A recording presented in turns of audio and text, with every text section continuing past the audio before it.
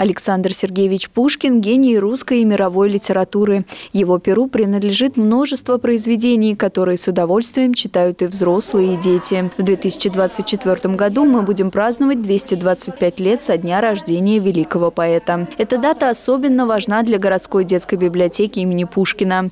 Поэтому в течение всего года для саровчан будут проводиться различные мероприятия.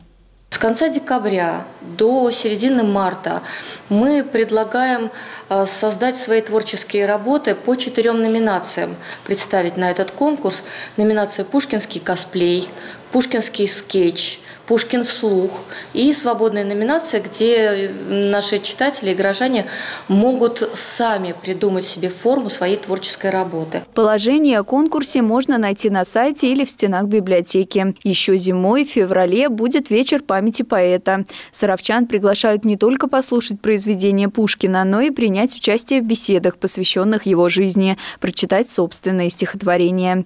Также в рамках празднования 225-летия со дня рождения писателя. В библиотеке планируются литературно-творческие концерты совместно с воспитанниками детской школы искусств. В рамках э, празднования юбилея Пушкина, то есть в июньские дни, э, будет проходить в стенах библиотеки большая игровая программа, поисковая программа.